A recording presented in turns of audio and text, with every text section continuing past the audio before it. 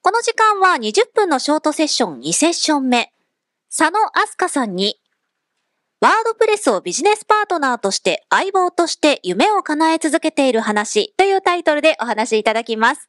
3人のお子様を育てながら、母親業の他に様々な方向からワードプレスを使い倒している佐野さん。どのようにして夢を叶え続けているのかを聞けるセッションです。佐野さんがありえないような夢とおっしゃっているのはどんな夢なのか含めてお伺いできればと思います。では佐野さんよろしくお願いいたします。お願いします。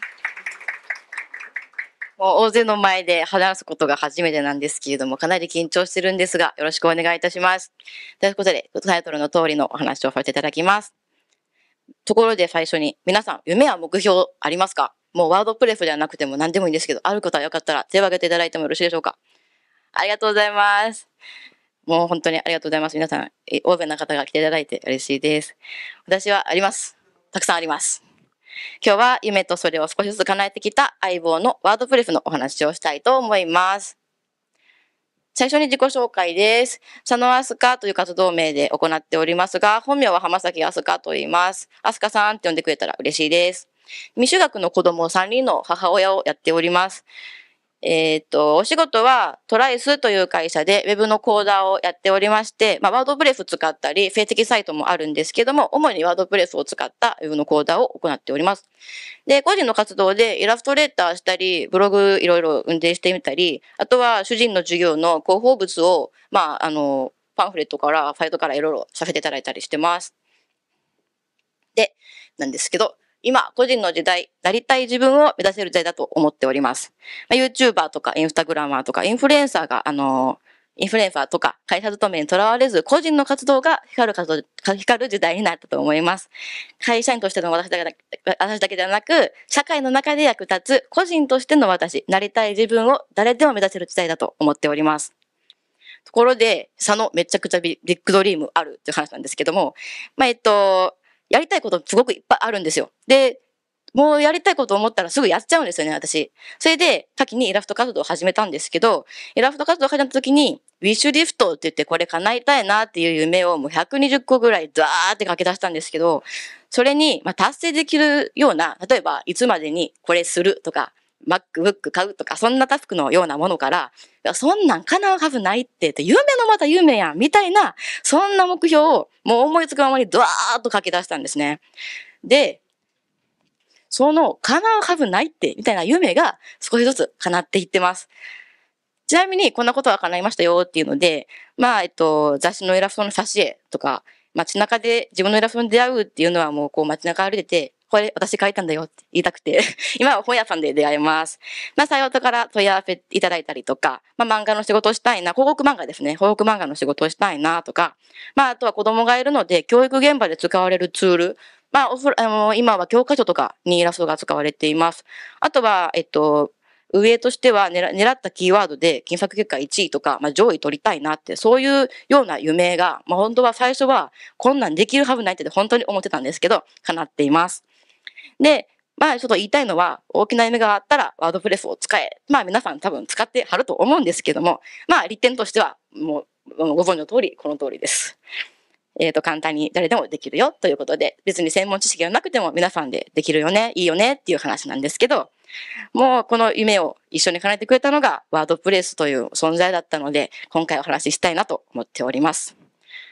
そして、まあなんでワードプレス選んだのっていうのは結構成り行きなんですけど、まあ最初ウェブデザイナーとして新卒で入社しました。その時はもう HTML と CS しか S しか書けなくて、静的サイトしかできなかったんですね。で、ワードプレスと初めて出会いました。で、会社でワードプレスサイト作れるようにならないと、お客さんの業務できないよねっていうので、実際に自分でワードプレスのサイトを作って使いながら練習していました。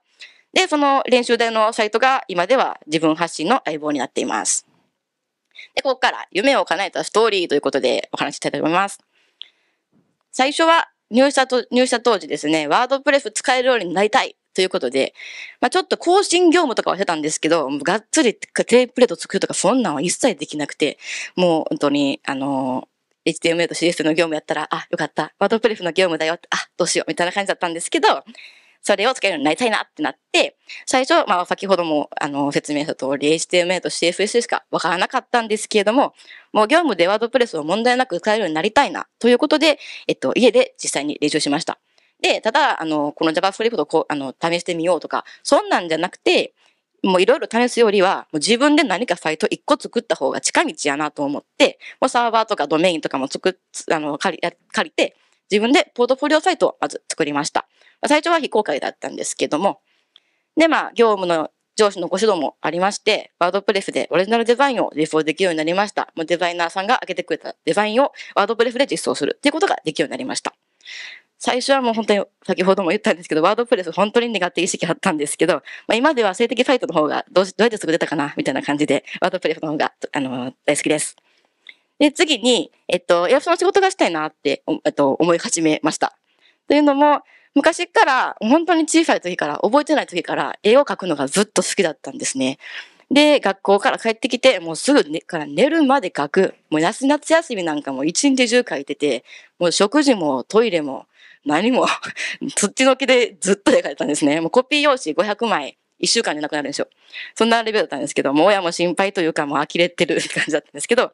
まあでも子供も生まれて不自由が多くなって、だからでもなんだかんだ子供熱出しても家におるんですよ。で、なんだか寝てるだけやから、こっち作業できるねんな、みたいな時間があるんですよね。その時間に何かできないかなと思って、イラストの、ふやイラストをしてみたいなと思って、それを後に決意しました。そこで、はい、ドン、すぐワードプレスを立て立ち上げました。記事やイラストなどを投稿して、初めて自分で仕事を得るためのサイト運営を始めました。まあ、どんなことをしたかっていうと、まあ、詳しくはこんな感じなんですけど、ビジネスよりのポートフォリオサイト、あとはクライアントとなりそうな人へ向けた記事の作成、まあ、イラストサンプルにキーワードをテキストで入れようねって、まあ、あの、SEO で的な、あの、一般的なウェブ集客ですね。で、まず、ビジネス用のポートフォリオサイトって何ぞやって感じなんですけど、まあ、多くのイラストレーターのサイトを見る限り、結構自分の絵をバーって羅列してたりとか、あとは自分のプロフィールだよ、お問い合わせがあるよっていう、まあ、そういうシンプルなサイトが多いなと思いまして、まあ、多分そのイラストで有名な方やったらそれですごいいいと思うんですけど、まあ自分の使いたいことがメインになりだしたなって感じてました。ただ、あの、始めたばかりの無名なイラストレーターが、ウェブからサイト、あウェブから問い合わせを受けてもらうには、まず見つけてもらうことが大事だし、不安を少しでもウェブ上で解決してもらおうと。この人に頼んでいいかなっていう不安を解決してもらいたいと思って、そこに、あの、あの、そういう理由、あすいません。えっと、重要で、それが最終的に私に依頼してみようかなって思ってくれる理由になるんじゃないかなと思って、そういうサイト作りを、あの、しようと思思いました。まあでも自分にできることだけじゃなくて、まあ例えばイラストこんな改革よとか、こんなことできるよ問い合わせしてねだけじゃなくて、依頼主が、あの、本当に困って何か検索してたどり着くページが自分の記事でありたい。そういう発信をしていく必要があるなと思って、まあ企業のウェブサイトとかのような感じで情報発信の方が、企業のウェブサイトの方のような情報発信の方がいいのではないかなと思いまして、あの、そういうあの、絵を、絵をたらたら流すだけじゃなくて、あの、あの、ビジネスよりのポートフォリオサイトを作りました。まあ、具体的に何、どんなページがあったのっていうと、まあ、依頼の方法、まあ、本当に初めて依頼される、する側、人なんで、どんな方法でやるんだろうとか、どんな流れでやるんだろうっていうフローですね。あとは打ち合わせの方法。まあ、神戸でやってますけど、まあ、今でも東京の方とかでもお話、あの、お仕事されていただいてるんですけど、その打ち合わせの方法ってどうなの？とかっていうのとか、あとは自分のタッチの詳細。まあ、アニメタッチのイラストでやってるんですけど、そのタッチの詳細どんなのかなっていうのを記載されたページとか、あとはブログで、あの、役に立ちそうな発信っていうと、また、イラストの料金ってちょっと特殊なんですけど、その制作料金のことだとか、まあ、そうとは、こういう流れでやるよっていうのを詳しく書いたりとか、っていう発信でとかですね。あとはイラストの事例には、参考納期とか納品可能形式って書いた方がいいんじゃないかなとか思って、まあ JPEG とか PSD でできますよ、AI では無理ですよとかそういうのを書いてます。あとはどんなことを大切にして制作してるかなっていうのもコンテンツとしてあのサイトを作っていきました。あと次は、クライアントとなりそうな人へ向けた記事の作成。先ほどもちょっとお話ししたんですけど、自分のクライアントとなるであろう方ってどんな人だろうと思って、でイラストレーターを探している、まあ、編集担当者であるとか、まあ、あの制作会社のあのデザイナーさんとかなっていうのを考えて、その人たちが検索しそうなキーワードで何だろうって思いながら記事を書きました。で、もうちょっとありがたいことにご依頼いただいた方の中には、もうほん、私が制作に関する疑問点などをまとめた記事を書いてたんですけど、それも全部読んでもらって、上で依頼してくれたっていう方もいらっしゃって、あと記事のあの効果が生きてるなと実感しました。あと最後にイラストサンプルにキーワードをテキストで入れるっていうのはもうありありきたりなことなんですけれども、まあ、イラストのサンプルになる、まあ、絵とかイラストに、絵だけじゃちょっとね、やっぱり SEO 的に弱いので、オルトやタイトルとか記事の内容をこうあって書いて、キーワードを分散して、もしこれで検索してくれたらこれに当てはまるかなっていうのをあの入れていきました。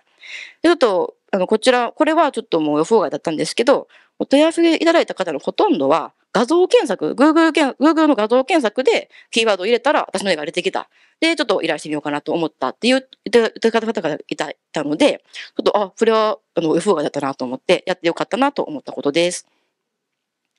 で、まあ、主に、まあ、ワードプレスを相棒として擬人化するならば、以下のことをお願いしています。まあ、営業マンとして、あの、思ってるんですけど、まあ、こんなイラスト、さんはこんな事例、イラスト事例があって、タッチこんな感じですよ。とか、依頼の流れをこんな感じですよ。あとは最初のヒアリングと問い合わせ受付っていうのは、もう問い合わせフォームに、もうこんなイラスト、あの、想定してるんですっていうのを任意で書いてもらうようにしてます。でもそれが最初にヒアリングシートとして、あの、こちらも見積もりとか出しやすくなるので、あの、問い合わせはちょっとめんどくさいかもしれないですけど、一応任意でフォームにそういうあのエリアを設けております。で、えっと、まあ、育児もあって、講談の仕事もあるので、なかなか直接的なフリーランスとしての直接的な営業ができない中で、ワードプレスのおかげで、今はイラストの依頼はほぼ全てサイトからお問い合わせをいただいてます。まあ、本当に最初の頃はもう編集者に電話かけたりとか、あのメール営業したりとか結構頑張ったんですけど、あのこっちの方、サイトの方でお問い合わせいただいて、実際に受注が決まったということがもうほとんどになってます。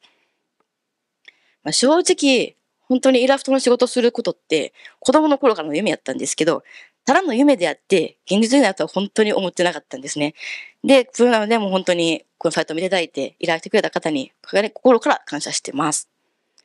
さて、じゃあ次イラストレーターを経て、ブログやってみたいなと、あの、思い出して、思い立ちました。まあ、日々、あの、やっぱりコーダーやってると、あの、これどうしたらいいんだろうって疑惑したときに、エンジニアさんとかのブログに大変お世話になっております。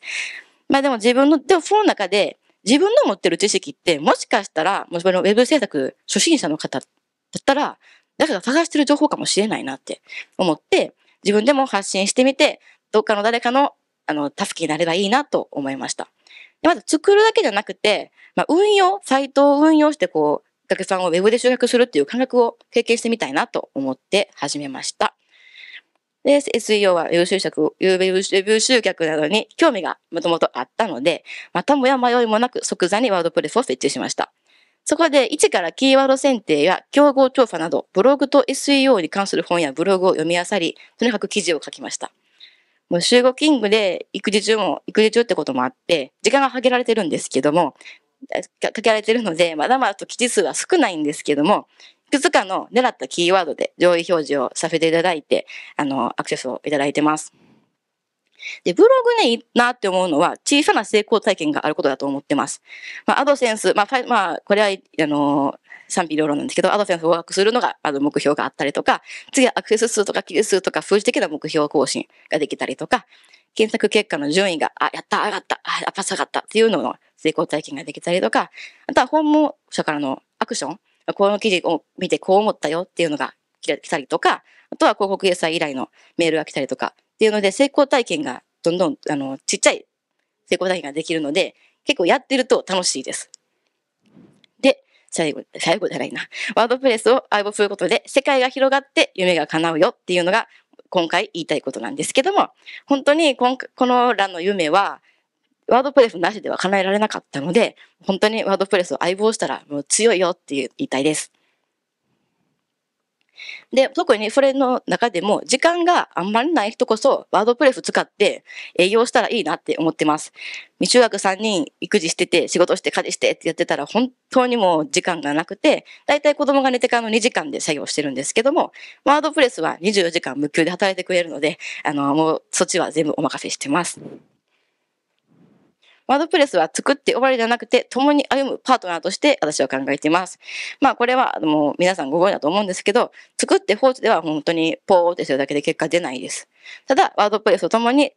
あの試行錯誤を繰り返していく、もうこの企画、検索結果こうでしたよ。ほんとはこうしてみよう。っていうので、ワードプレスと会話するような感じで、あの、パートナーとしてやってたらいいんじゃないかなと思っております。ちなみに、えっと、当時書いたウィッシュリフトに、講演会やイベントなどで登壇したいっていうものがありました。で、本日こうやって叶えることができました。ありがとうございます。で、それもなんですけど、まあでもこれが叶うとしたらもう将来自分がめっちゃ大物の有名イラストレーターになった時かな、とかって思ってたんですけど、これも WordPress がきっかけで、もうこんな、あの、ペーペーの状態でも叶った夢があったので、本当にありがたいと思ってます。で、なんで、あの、 WordPress のおかげっていうと、セッション登壇の応募のきっかけは、 WordPress Meetup でいつもお世話になっている方に背中を押してもらいました。あの、一緒に、あの、応募しないって言ってもらいました。で、もうやろうと思うことで申し込んだんですけど、ワードプレスのいいところっていうのは、コミュニティが盛んで、人との人とのつながりを作ってくれるところだと思ってます。まあ、参加するたびにいろんな人が親切に教えてくれたり、ブラグインの作者に会えたり、テーマに沿って新しい知識を得ることができるということで、もうワードプレスという共通点をもとにいろんな人と知り合えるのはとっても楽しいし、貴重なことでありがたいなと思っています。で、私にとってワードプレスは私と人をつなげてくれる存在だなと思ってて、夢を叶えるには人とのつながりっていうのが大事だと思ってます。ここで、まあ、ワードプレスがつなげてくれたのは、未来の家具さんと私、情報探求者、まあ、ブログでそう記事を探している人の私、の広告主と私、ザ・ミートバップ参加者の方たちと私、そういうのをつなげてくれるのがワードプレスだと思ってます。これから、で私がワードプレスと共に目指すものなんですが、まあ、時短に効率よく自己表現をしていく。ワードプレスにもっと詳しくなって、私も困っている人に助言できる立場になりたい。あとは子供たちが憧れてくれるようなお仕事人間になりたいなと思ってて、最近はちょっと子供も一緒に、お母さんと一緒に将来絵描くんだって言ってくれるので、ちょっと嬉しいんですけど、将来そんな人間になりたいなと思ってます。で、これからワードプレスと共に叶えた夢ってなると、ワードプレスの関連の布石などで、挿絵とか表紙とか担当したいな。個展とか開催したいな。イラスト集出したいな。世界と仕事したいな。まあ、あの、またありえないような夢を語ってますが、結構、あの、本気で考えてます。で、これからもワードプレスを相棒として身を傾けていきたいと思っています。ご清聴ありがとうございました。